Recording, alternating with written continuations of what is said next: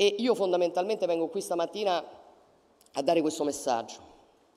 Noi abbiamo fatto una campagna elettorale dicendo che ci saremmo dati come grande obiettivo quello di modificare il rapporto tra Stato e cittadini, di modificare il rapporto tra lo Stato e le imprese e che nostro, la nostra bussola sarebbe stata un, un concetto molto semplice, non disturbare chi vuole fare non disturbare chi vuole creare ricchezza, non disturbare chi produce lavoro.